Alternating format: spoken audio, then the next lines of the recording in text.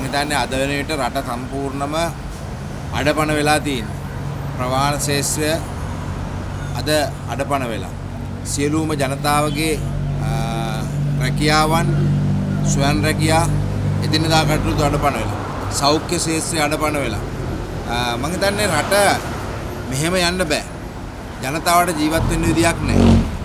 ආණ්ඩුවට විසඳුමක් නැහැ.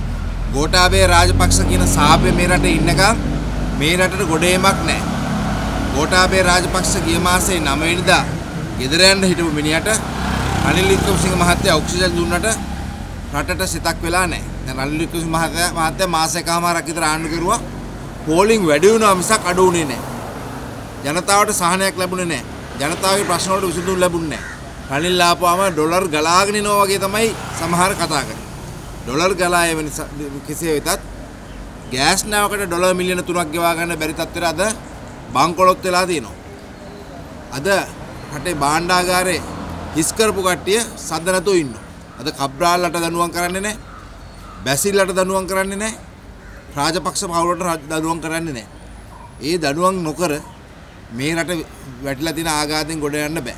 මේ රටේ අ, සල්ලි හොරකම් කරපු ඩොලර් හොරකම් කරපු ඩොලර් විනාශ කරපු භාණ්ඩාගාර හිස් කරපු අයට දනුවම් නොකර මේ ප්‍රශ්න විසඳන්න බෑ.